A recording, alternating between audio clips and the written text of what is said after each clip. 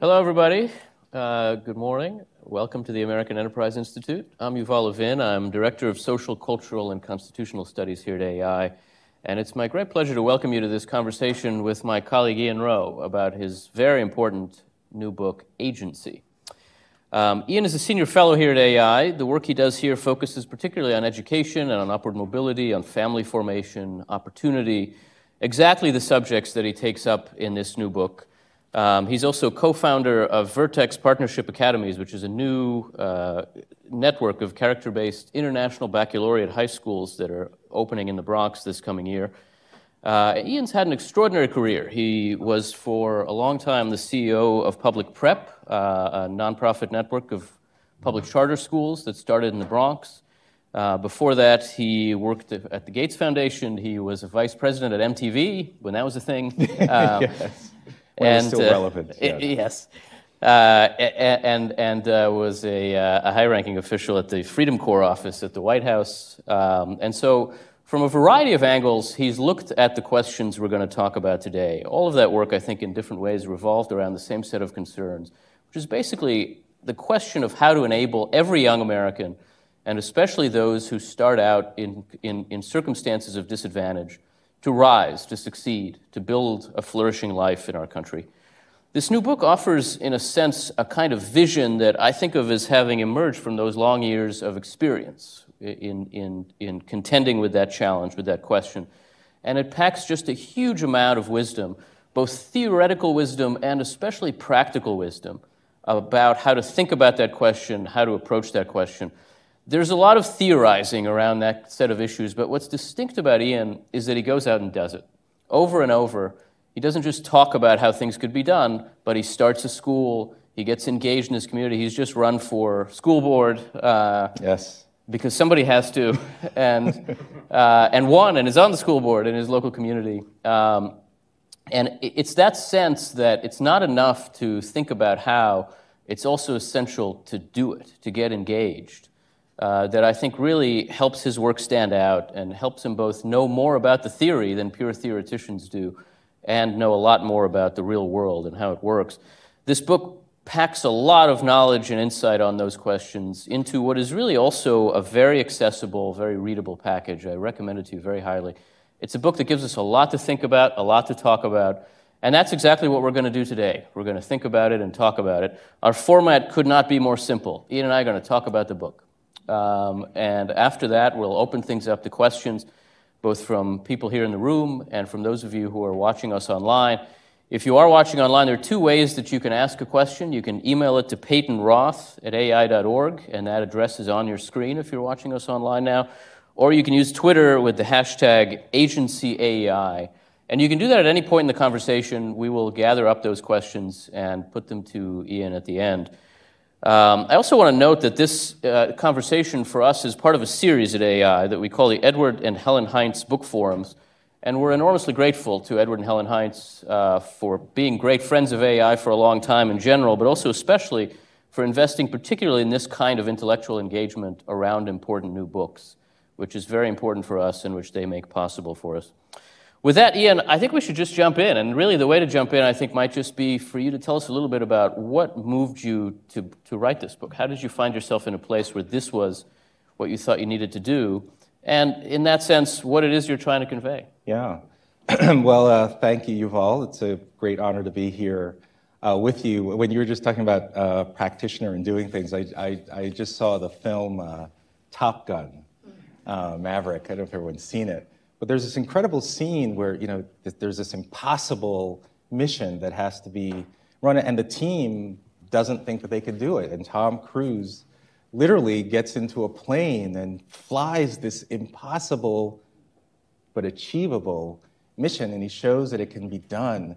And I, I was just very inspired by that scene because I, I actually do like to think of myself, and I hope to inspire others it's not enough just to have an idea. You actually do have to show how this idea lives in reality with real people. Um, the reason I run schools is that I, I want young people to know that they can do hard things, that there will be challenges that you face in your life, but there are methodologies of millions and millions of people who are from the same exact situation that you're in and yet have managed to be successful. Why? What are those ingredients of human flourishing? And uh, I'll share a quick story that really brought me into a lot of this. Um, so I, I, was running uh, um, a network of uh, public charter schools. I started in 2010, public prep, and we were having great success. We had about 2,000 students in our schools, nearly 5,000 on the wait list.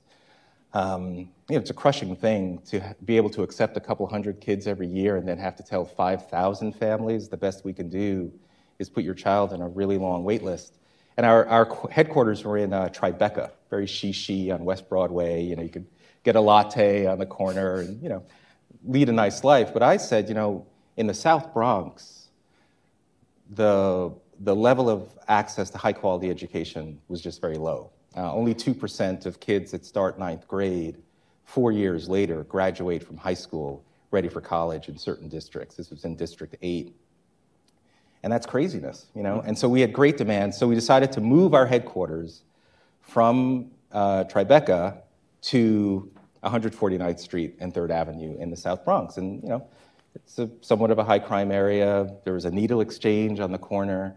And our team, I wanted the team to get acclimated to this new neighborhood, because even though this was a tough neighborhood, kids were there, and these kids deserve a great education, and we should have a, our headquarters there as well. And um, so we went on a walking tour of the neighborhood, and in the distance, all of us, we see a 27 foot baby blue Winnebago truck uh, with, with adults standing around it, very excited. Um, almost like when you see an ice cream truck with young people that are excited to see it. And As we got closer, we saw that the truck said, Who's your daddy? And just, what is that? And it turns out the Who's Your Daddy truck was a mobile DNA testing center where low income folks were spending somewhere between $350 to $500 to answer questions like, Could you be my sister? Are you my father?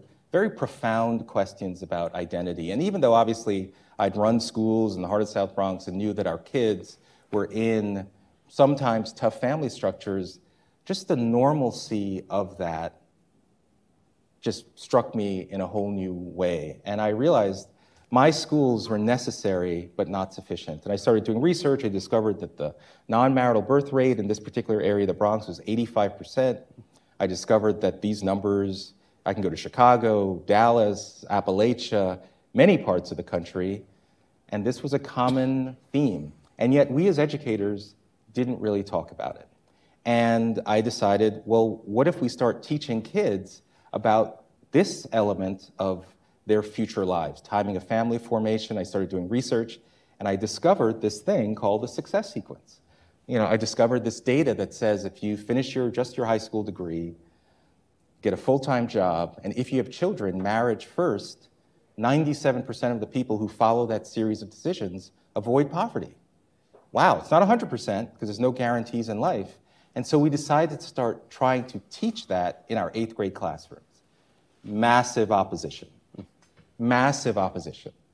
From, from gatekeepers who said, no, no, no, you can't teach this to these kids. It, you'll be insulting them. That, you know, you'll, uh, you know, their parents didn't follow the success sequence in their own lives better not to focus on that. Let's focus on the real issues of systemic racism and institutional barriers. Let's just deprive them. And it was the first time, like, wait a minute, we, this is information. Don't we think this is crucial and important? And so we asked the eighth grade parents what they thought. Because we said, you've chosen our school, you entered the lottery because you want us not only to teach you math and science and reading, teach your kids that, but also the habits will, that will give them the greatest likelihood of success. And so we're going to teach not in a prescriptive way, but here's information that we think could be helpful about the series of decisions that your children will face education, work, marriage, and children 97% avoidance of poverty.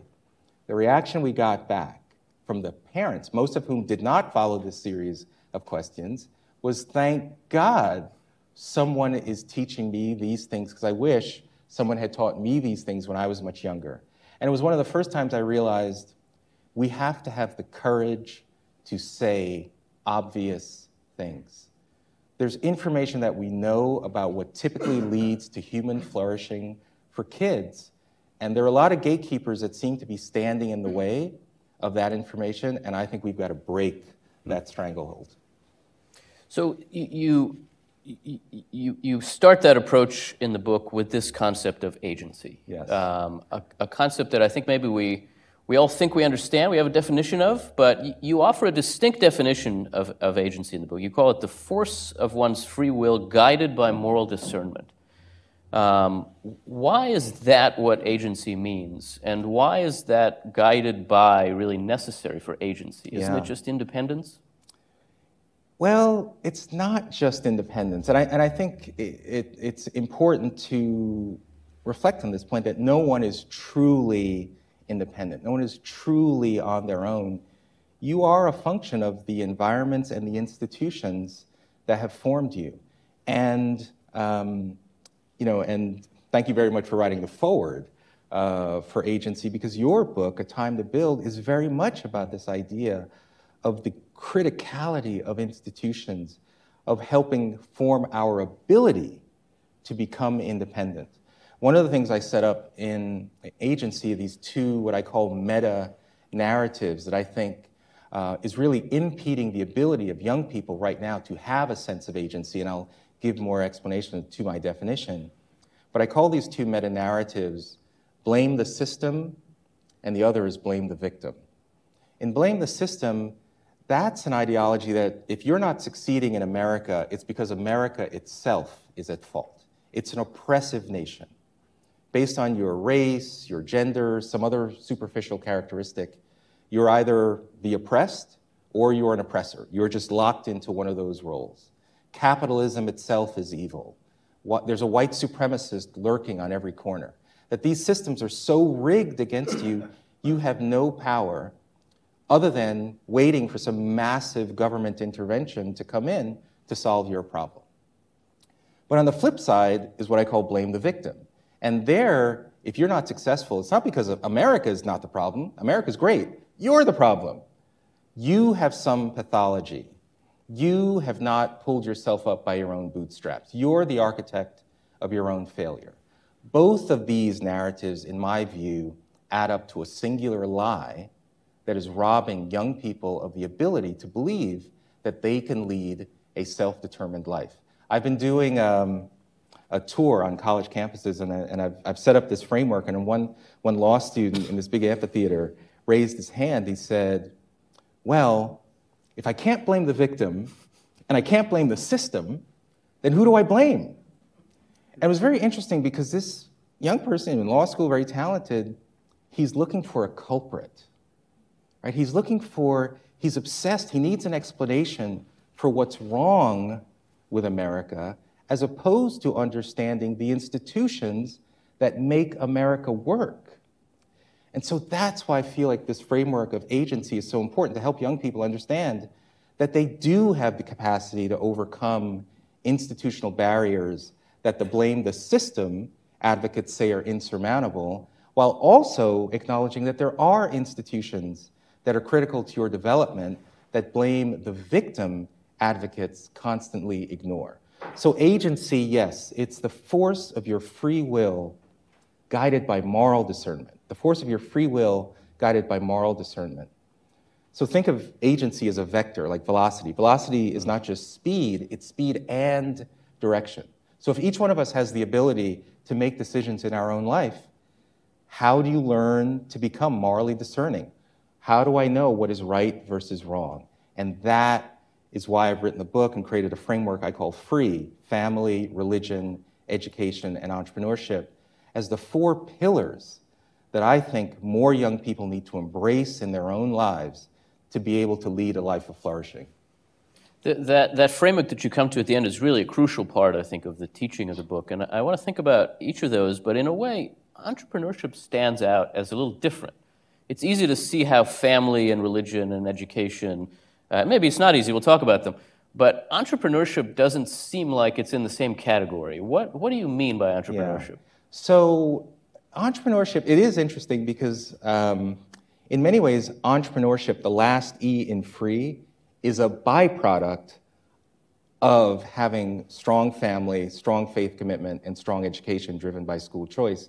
Because in many ways, those are the foundations upon which you now, as a young person, can have a sense to be a bit more adventurous, to take risks, to lean into life.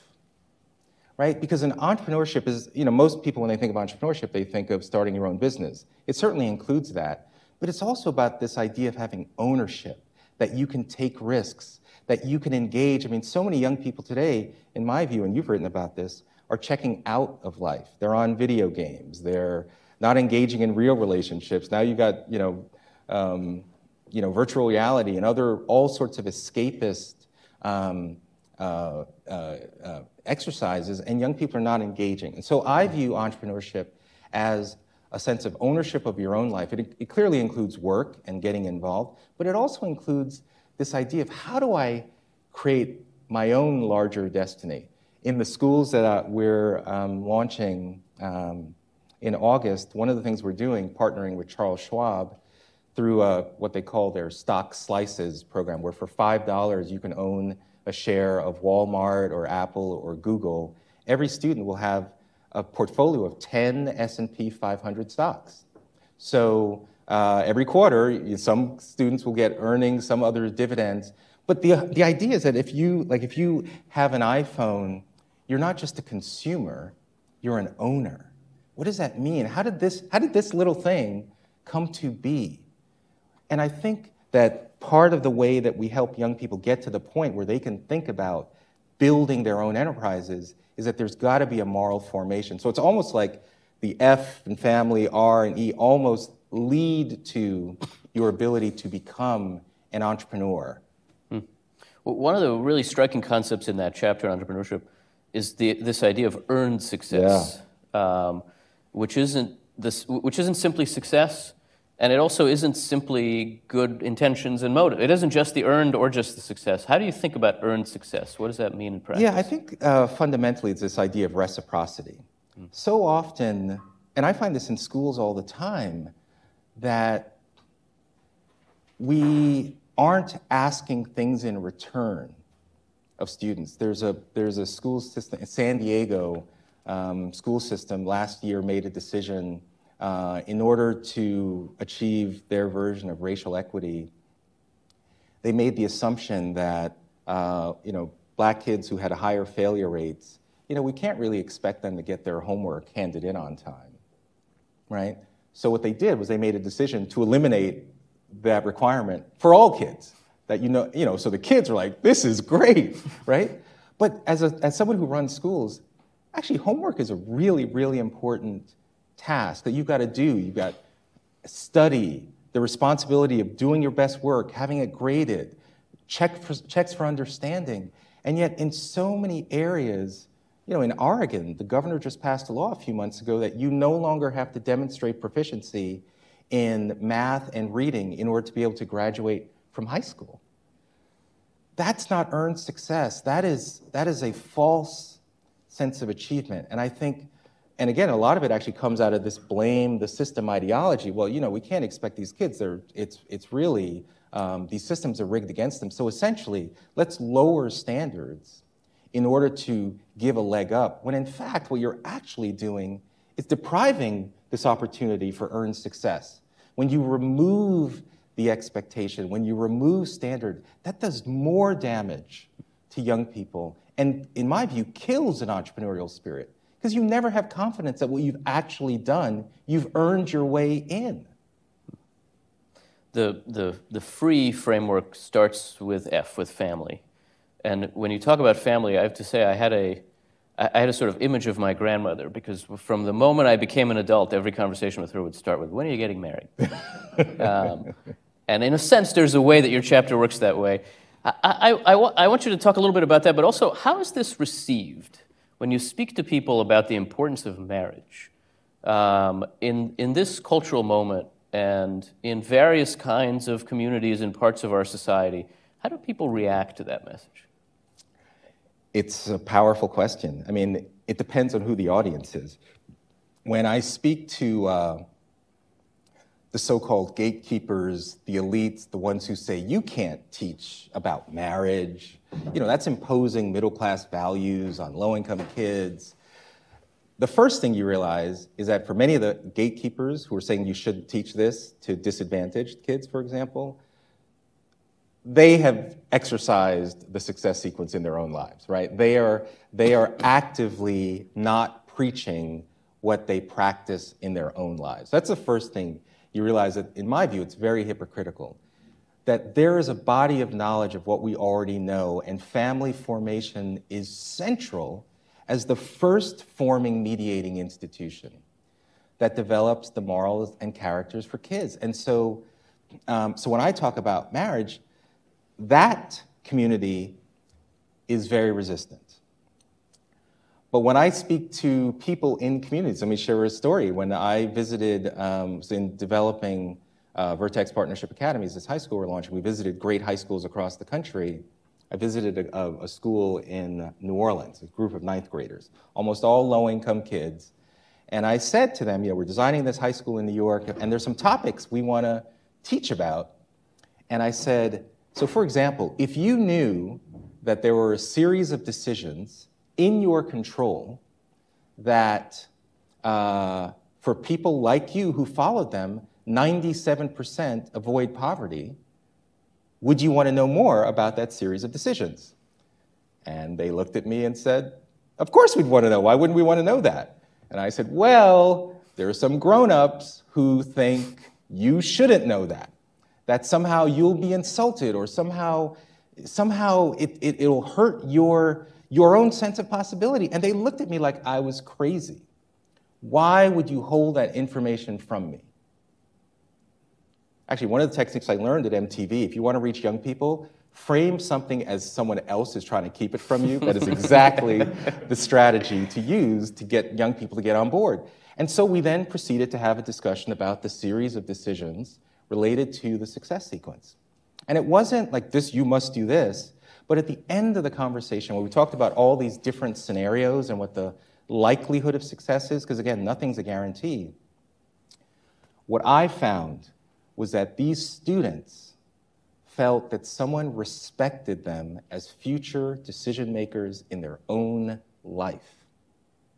And so, to me, we have to ignore the gatekeepers who seem to always claim that they know what's best for certain communities but they don't represent those interests. And honestly, if, I, if there's any message I want to, you have to have the courage to say obvious things.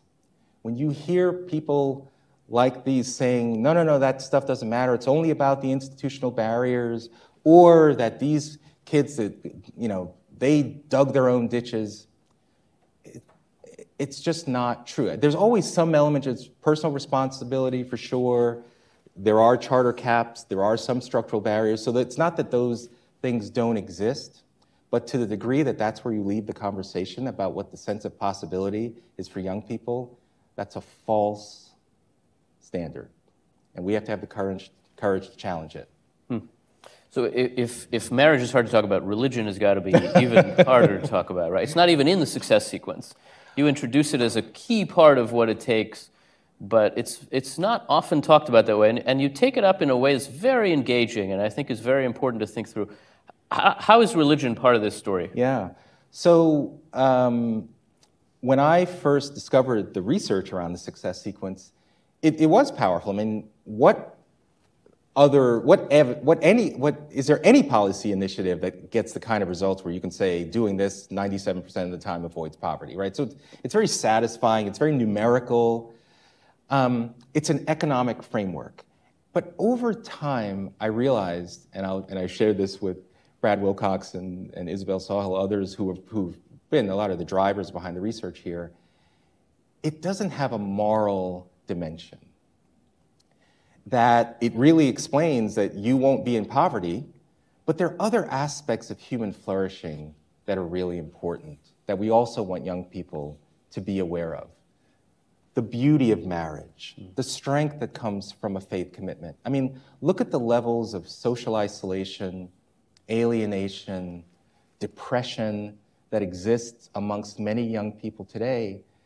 So, yes, having an economic framework is helpful, but not knowing the power of having a faith commitment, in my view, deprives young people of one of the very sources of incredible strength. Because if you look at the data, young people that who do have a personal faith commitment, much lower levels of alienation and loneliness, depression. They're part of communities that love them and care for them.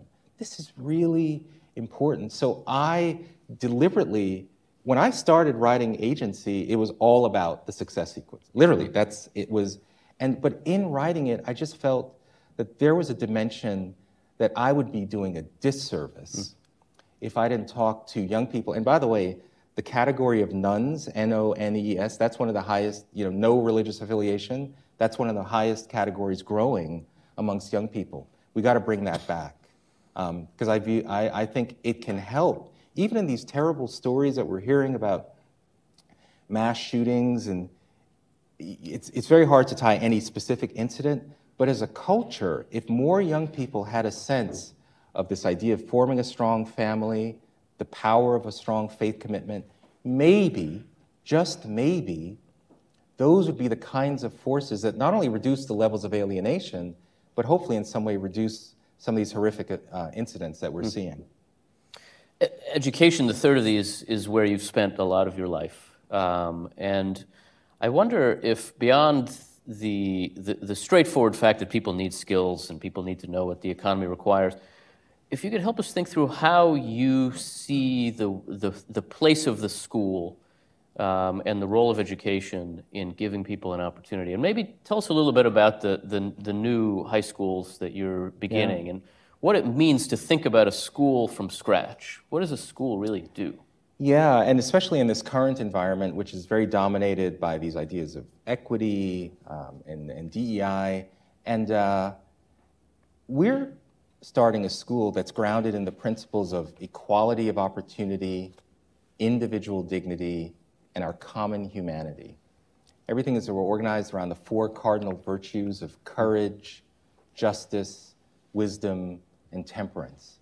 And we think that's really important because we believe the role of a school is one of the critical institutions that form the, the moral character of young people. We don't, you can't run away from that fact. In fact, if you think that you're not in the moral formation of your students, doing nothing is actually also helping to shape the moral character of students. But you're, you're leaving a huge void where other meta narratives can start to seep in. Narratives like blame the victim or blame the system, where you see yourself either as just a cog in this larger wheel of I'm either a victim or I'm a victimizer. You know, and that's just the way it is. And so, eh, you know, the, the, again, the reason I run schools we have to put our virtues in action. Like again, you wrote a time to build. For me, it's not, I mean, I love being part of AEI, it's incredible, but I've got to actually create new institutions that demonstrate the values that so much of us talk about and test the reality. Are the things that we are so sure work, do they actually work with the communities that we believe that we're doing this for?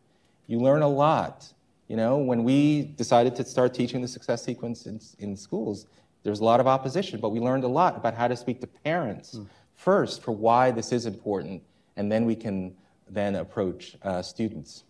The other thing about the high school that we're launching, I think, is, is important is that you know, we hear a lot of stories now about student debt, college for all, and I used to be a college for all guy, right? But in the school that we're launching, it will be one of the first of its kind, an international baccalaureate model that at the end of your sophomore year, you will either be able to choose what's called an IB diploma pathway, which is a more traditional college or university path, or the International Baccalaureate Careers pathway, where you can major in computer science, architecture slash construction, media, or something in healthcare, where I was sharing with you earlier, we're in early discussions with the Mayo Clinic to start a course of study in phlebotomy, where we'll have a partnership with a hospital where at the end of four years of high school, you could have an industry credential with labor market value. You could be a phlebotomist. And if you want to go into industry right away, that's your choice. I think we have to recognize that as opposed to ideas like let's just forgive literally trillions of dollars in, in student debt without addressing the underlying issue, maybe we actually need to create better pathways in high school that give better preparation for students who want to pursue college, sure, but also other pathways that could make sense for their own lives. So that's how we're thinking about um, education. Recognize our power as a formative, a formative institution, and then create new pathways for success, because it's not the same for everyone. You, you mentioned in the course of that answer the the emphasis on equity that is so much part of our conversation now.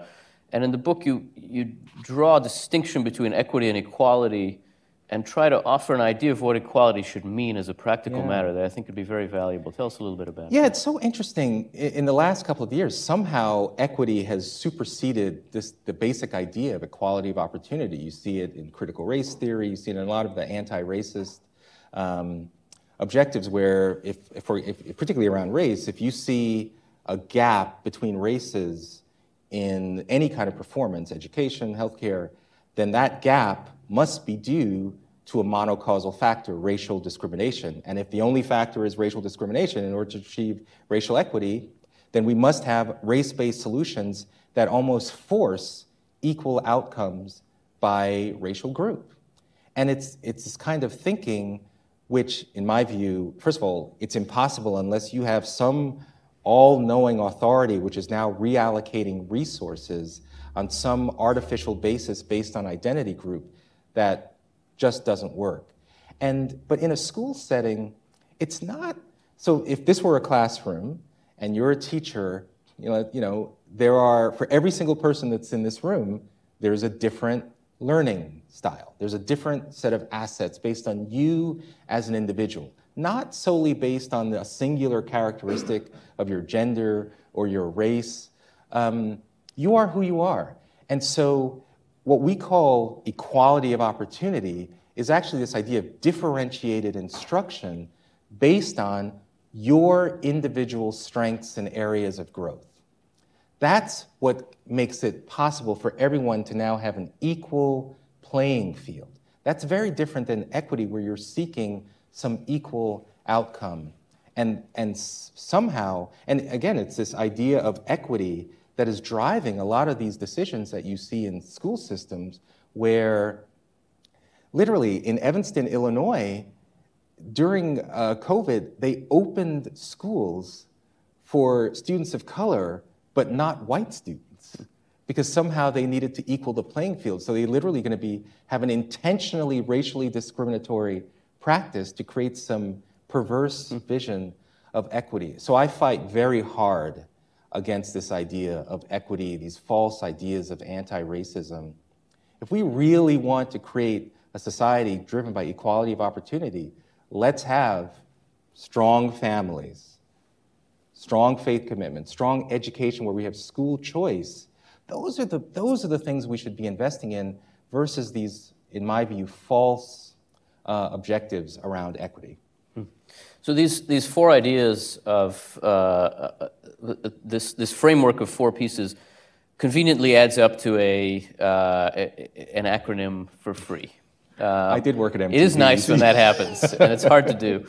Well done. But why free? And how do you think about freedom in a society that so often takes freedom to mean really liberation from exactly what you're describing from family and from religion and from, uh, and from various kinds of, uh, of impositions? You mean something else by freedom. What, what should we understand by free? Yeah, well, right. So I think sometimes we chafe at this idea that freedom actually needs constraints. Hmm.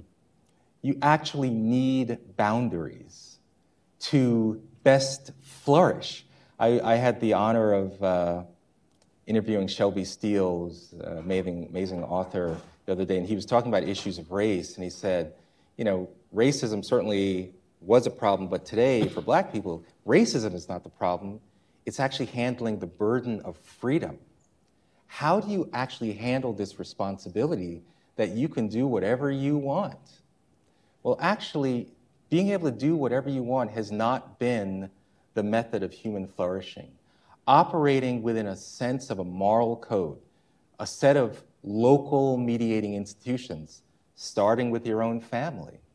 Like knowing what's right and wrong, operating, starting with F, starting within family, and then having a personal faith commitment where you're operating within a set of moral strictures.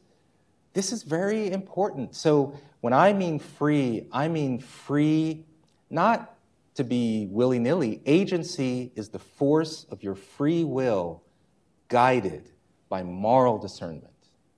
We just have to help young people know again what those institutions are that can help them become morally discerning. So, freedom is not free for all, um, unabated, unrestricted freedom.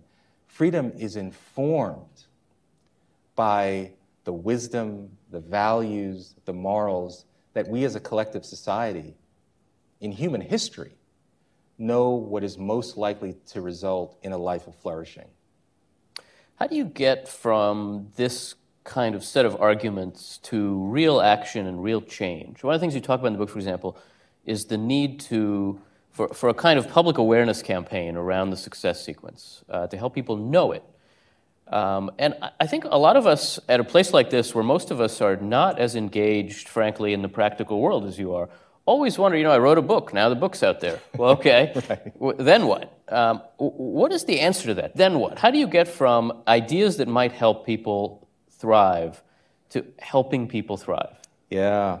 So, um, it's not enough to just write a book. It's not enough just to write schools. You, you, know, especially for young people. I remember when I was at MTV thinking critically about where all the young places, where all the places that young people reside, either physically or uh, social media. There we have to reach them with seven messages, you know, constantly, intensely, and we need to do the same here. I mean, there there is a Robert Doar who runs the American Enterprise Institute. When he was at um, New York City, he tried to run a ad campaign about the success sequence with these very riveting ads, which said if you do these things 97% of the time, you avoid poverty. He faced huge pushback. How could you share these things? And yet, two weeks ago, there was an ad in the New York City subway that's been hailed as being so um, responsive. Basically, it's to people who are abusing uh, fentanyl, and it says essentially, don't be ashamed you know, here's advice on how you should use these drugs. Start mm. slow, you know, do it with other people. I'm reading this, like, this is what, mm. so this is the kind of message that young people are getting.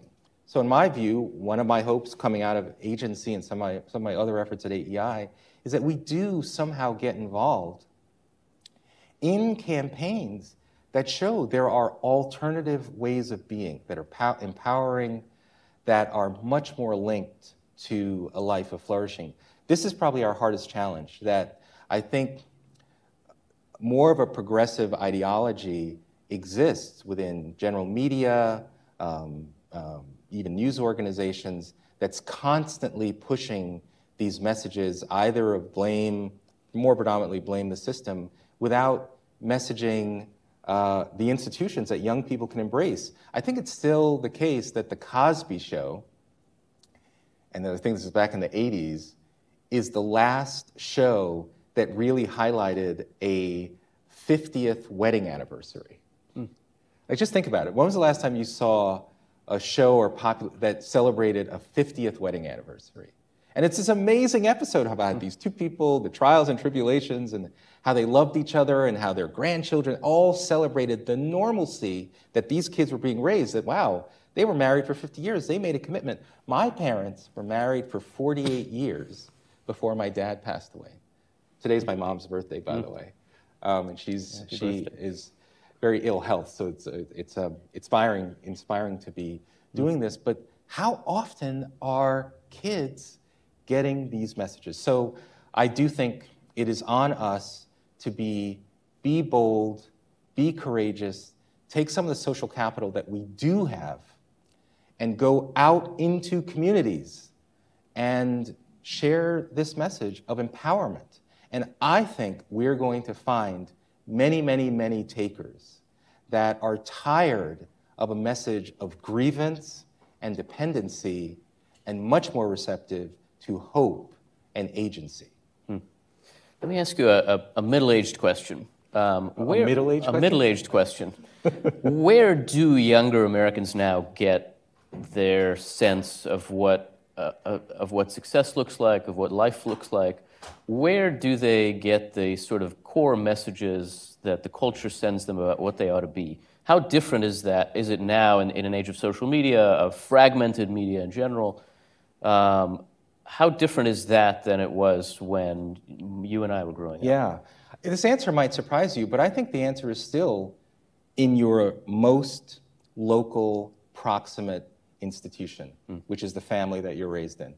Yes, there are certainly these other larger factors of social media and other dominant forces, but in my view, part of the reason those have become so influential is the weakening of the local institutions that heretofore had, had provided a barrier around these things. So, part of the reason I spend so much time on family formation is that, you know, the data just came out in 2020. I'm particularly interested in uh, birth rates to women 24 and under. In 2020, the non marital birth rate to women 24 and under who had a baby in 2020 was 72%.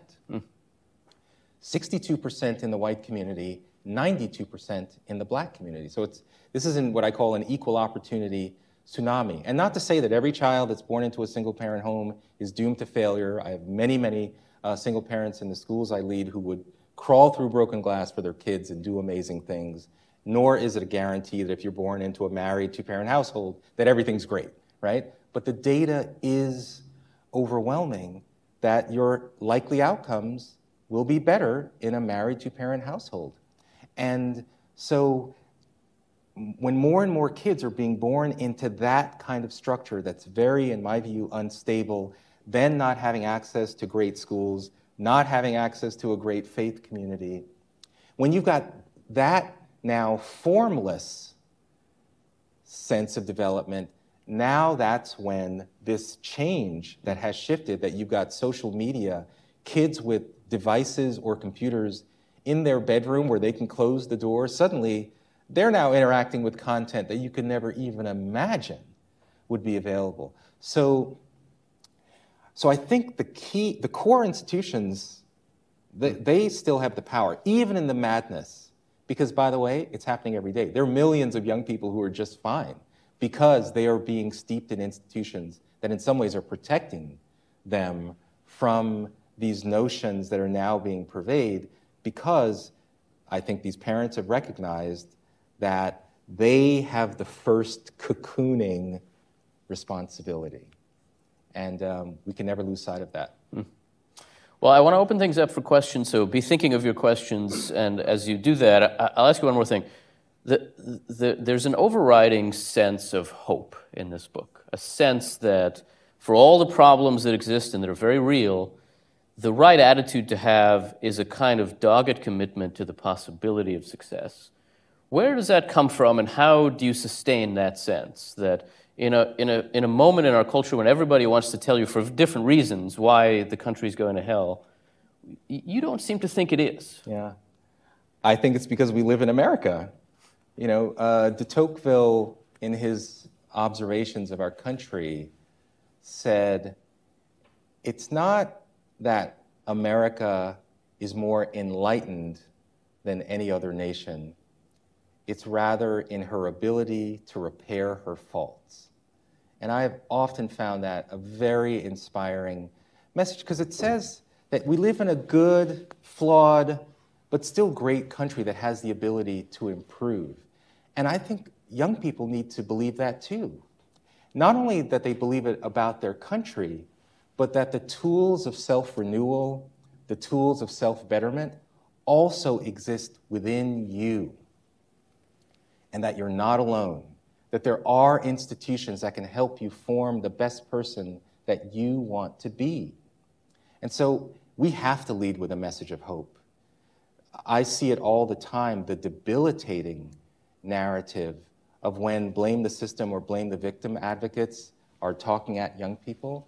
It's kind of a learned helplessness. Nikole Hannah Jones, one of the authors of the New York Times 1619 Project, in speaking This Is Now to Black Kids, she'll say basically there is nothing you can do. Doesn't matter if you get educated, doesn't matter if you buy a home, doesn't matter if you get married, doesn't matter if you save. Quote, none of those things can overcome 400 years of racialized plundering, end quote.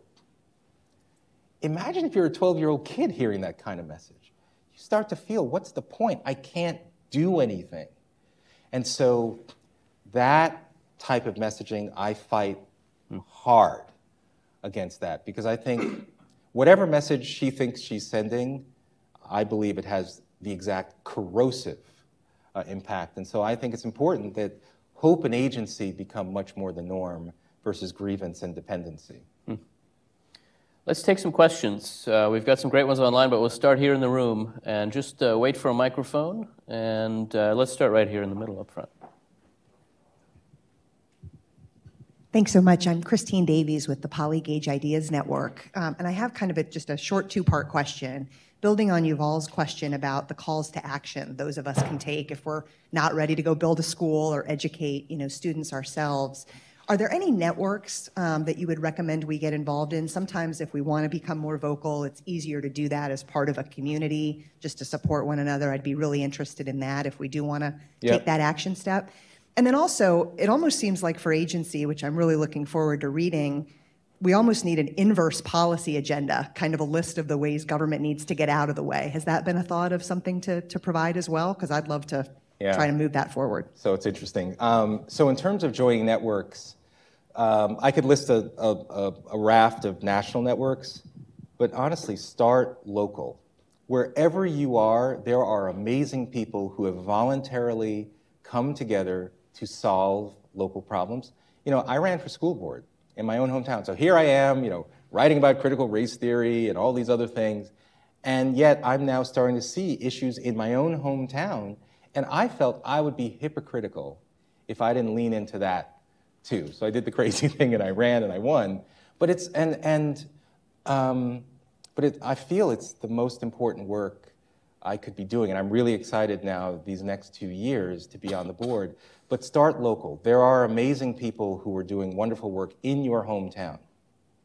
As far as national organizations, the Woodson Center is an amazing organization that's been around for 40 plus years that has been all about animating local leaders to solve uh, local problems. Whatever your um, idea is, if you can center around animating the local institutions, in my view, that are strengthening family, encouraging greater faith commitment, enabling school choice, and then somehow uh, stimulating more entrepreneurship. Those are the levers I think that are most important. Uh, in terms of uh, an inverse policy, yes, I actually do want to create a like here's what a great policy environment would look like. In agency, I, I mean, I do have some policy initiatives but many of the issues that we're generally talking about are more cultural and behavioral and creating new sets of social norms. That's the much tougher uh, part of the work. But we will, um, uh, we will uh, create that kind of here's what something is good, and then also here's some things you shouldn't do, like what's happening in San Diego or what was just reported earlier this week in Oak Park, um, Illinois, Oak Park, Illinois, where uh, again, in order to achieve some kind of racial equity, they're now um, created a, a race-based grading system. At least this is what the reporting is saying, that they have to have equal outcomes by race. So now black kids are no longer penalized for not handing their homework in on time. It's just so. So we'll have a list of these are things you may not want to do that are you know that violate the law, you know that violate the Civil Rights Act of 1964, you know things like that. Let's take another question uh, in the back. Thanks, Ian. I am interested in this idea of schools as places of moral formation. And it seems like some people reject that premise entirely, as you talked about. But then there's also this momentum and call for equity in schools and justice in schools and for students to have a place of belonging in schools. And I'm curious as to whether people are expecting of schools what they might typically expect of a church. And there's also just a rise in the nones and rise in secularization. Is it is it good to put these kinds of expectations on schools? Just what are we to make of this? Yeah, it's, mm-hmm. it's a very fair question. I think partly due to the weakening, particularly of family and religion as the core institutions, a lot of that burden now is being placed on schools, in my view, unfairly. Um, so it's part of why this book wasn't just about family or just about religion or just about education. These, were, these are interdependent uh, institutions. Um, that said, I do think schools play a crucial role for the simple reason that not talking about character, not talking about moral formation, doesn't mean that you're still teaching about character or moral formation. You're just teaching into a void that, by the way, is going to be filled. And so the question is where is this void being filled by? And if it is social media or these other forces that are now much more dominant in young people's lives, then we're doing uh, a disservice. And so um, I think uh, over the last couple of years, though, with COVID, with what, you know, parents had a uh, much more of a bird's eye view into what, to seeing what their kids were learning. And frankly, they didn't always like what they saw. And so you've seen a, a real growth in homeschooling You've seen a real growth in Catholic school uh, enrollment. And so I do think there's something happening where parents are recognizing that schools do play a role in moral formation and actually don't like what they have been seeing, at least in certain uh, areas, and are looking for empowering alternatives, which is why a school choice environment is so important. Let me give you one of the questions we got online.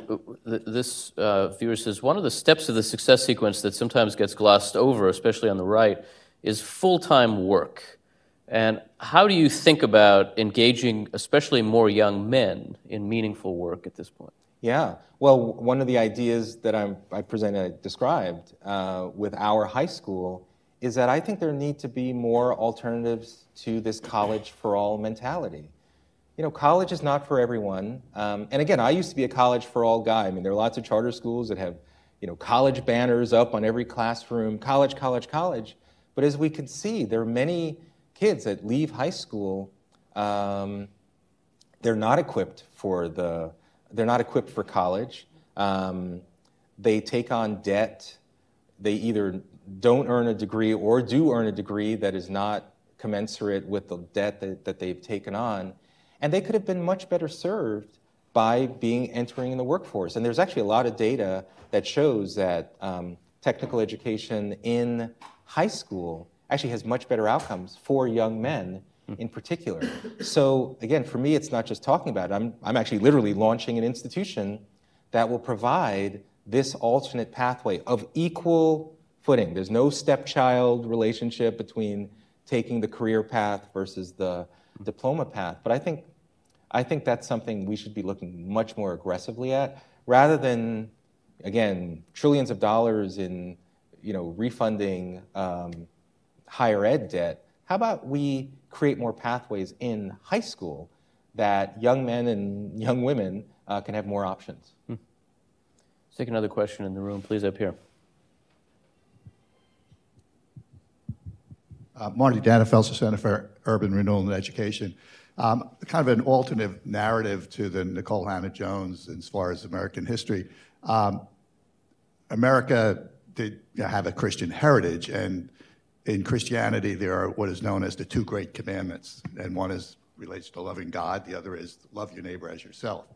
I would argue that that second great commandment is reflected in what the culture knows as the golden rule, which is do unto others as you'd have them do unto you.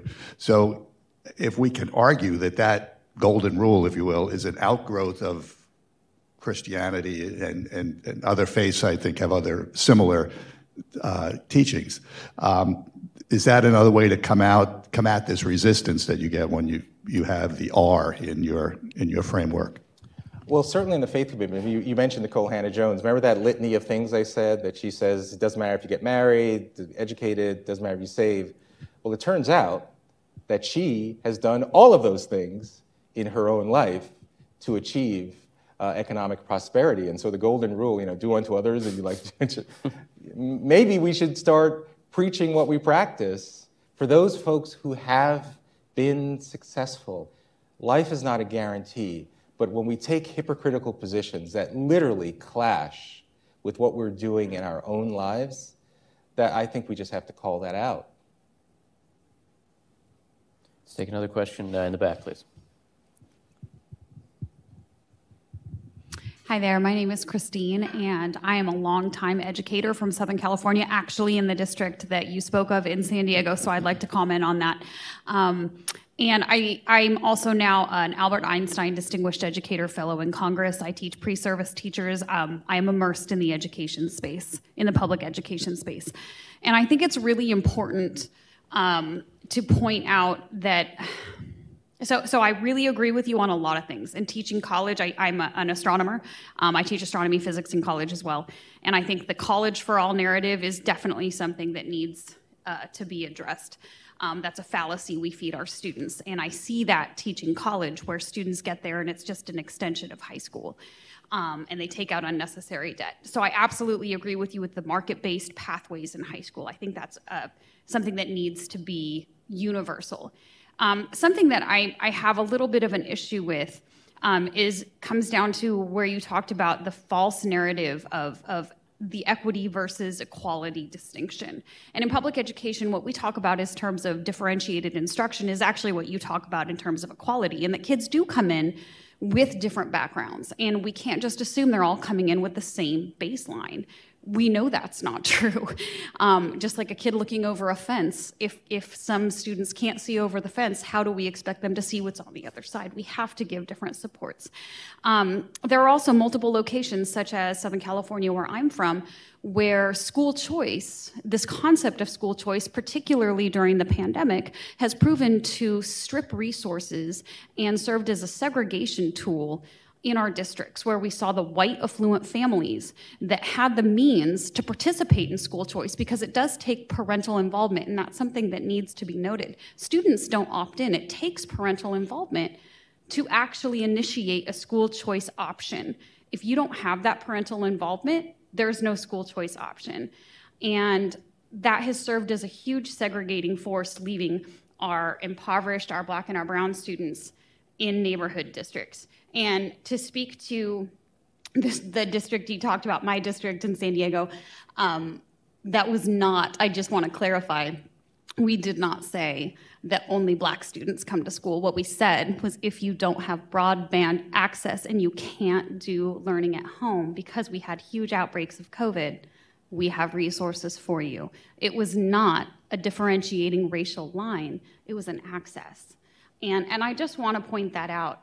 Um, one of the th- one of the questions I have is, um, what about these research and evidence-based solutions like community schools, and where do you see the involvement of family to initiate your your pillars? And I really like the pillars that you're talking about, but there are some students that just that don't have that. And I hear you talking about equipping students to create a better tomorrow. And that's amazing. But what about where they are today when they only spend eight hours a day in school and the other hours at home? What about when home Let's... is not that environment? Yeah, well, there, there's uh, a lot there. So, a few things. One is um, on school choice, I'm not exactly sure the point you're making, but I agree that uh, school choice exists in our country for middle and upper class families, right? You can choose to move to a great neighborhood where there are great public schools, or you can choose to uh, send your child to a private school, a religious school, whatever you want, the school that you think makes the, the most sense for your child. Unfortunately, the vast majority of kids in disadvantaged situations don't have that. So I'm not sure if you're I'm not sure if you're arguing against it, but yeah, I, I believe one of the ways to level the playing field is so that every parent and by the way, in New York City, there were 70,000 families on the waitlist. I would never describe them as not being able to access um, school choice. Believe me, our families are desperate and searching and constantly running into barriers that impedes their ability. Because sometimes there are these folks that, yeah, you know, these folks they wouldn't be able to make good decisions anyway. I don't know if that. I don't think that's what you're saying, but there is this prevailing notion that, well, they can't really decide, so why even give them school choice in the first place? And that, I think, again, I'm not saying that's what you're saying, but there is that notion out there that I push back against. Um, we should talk about San Diego because uh, I've done a bunch of research around there. The, this idea that the this idea of handing homework in on time was one of the ways to somehow achieve equity by eliminating that requirement for all 110,000 uh, children in the San Diego school system. Again, I don't think that's a productive way because. What's that? That backfired for That backfired for everyone. Exactly. That's why I talk about it. Um, and, and just you know, real quick on, on the San Diego situation, they did an analysis where they found, I think, something like uh, 20% of black students got a D or an F failing grade, but only 7% of white students did. And rather, and so they said that 13 percentage point gap in San Diego, that must be due to racial discrimination. And so rather than say, well, how is it that 80% of black students are succeeding, or 93% of white students are succeeding, or 94% of Asian students are succeeding? Is it that they're taking advantage of teacher tutor hours or studying more? They said, no, no, no, no, no. We're going to somehow focus on this uh, 13% uh, uh, gap, and that's where they came with this idea that somehow it's because the, the, the, the stories were that the black students somehow, there wasn't a belief that they could get homework in on time. So let's just remove that requirement for everyone. That is not how we build formative institutions that ask for reciprocity. Imagine a kid that grows up in a school system that feels like homework is an option or whenever I send it in. Is that going to serve them well when they get to college or go to their job assignment? Oh, yeah, boss, I'll, I'll get that to you when I get that to you. You know? Um, community schools. I'm mixed on community schools, partially because I think they are attempting to do so much beyond math, reading, and science. There are some interesting models in New York City. You know, Geoffrey Canada was certainly one of the first. I think it's mixed. I think that we need our other institutions, most notably Stronger Families, Stronger Faith Commitment, um, to play their essential roles because I do think there's a lot of pressure on schools to try and solve a lot of issues that kids are coming up with. I mean, in, I, you know, asthma is one of the biggest issues in the South Bronx that led to um, huge absences. So we created a partnership with asthma organizations that not only help uh, help kids literally um, be able to uh, handle their asthma in emergency situations. We also help represent families to go against their landlords who weren't keeping, you know, but we didn't, we partnered with other institutions. So I get the the impetus to try and help because there's so many issues that our kids come up with, come in with, but we can't solve everything. Schools have to play um, their roles. I would love to talk to you more because I feel like you're a kindred spirit. Well, we have time for just one last question. So if anybody here has uh, what they think ought to be our one last question, why don't we uh, go right here in the back? Hey there. Um, my name is Nick Talbert. I'm a student at the University of Alabama, and I have two questions, so I apologize. um, but the first is on the lowered expectations you talked about. And I know being university and being involved in leadership is something I see a lot from the administration. Just in the past year, we've been developing applications for this upcoming school year. And, and I fully agree in, in dropping things such as application fees and stuff like that that may allow low income students to apply.